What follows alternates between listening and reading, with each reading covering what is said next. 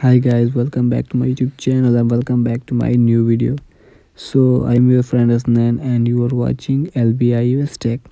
So in this video i am going to be tell you that how to increase font size on iphone ios 17 so before starting the video it's humble request to watch my video completely until the end and don't skip my videos.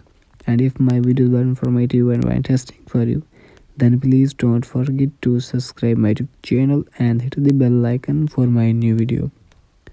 So without wasting any time let's get started the video. So first of all guys simply here what you have to go to your setting app in your device. And now you can see here uh, my font size will be not large here. So here you have to simply scroll it down. Now here you have to type on the uh, display and brightness. And after that now you can see here text size so tap on it.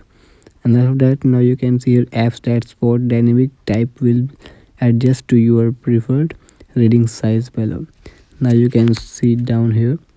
You from here you have to increase your font size. On your iphone i17 now you can see here uh, my font size will be large on iphone. Now here you can see here. From here you have to increase your text font size. So from this method you have to increase your font size. Now after that go back.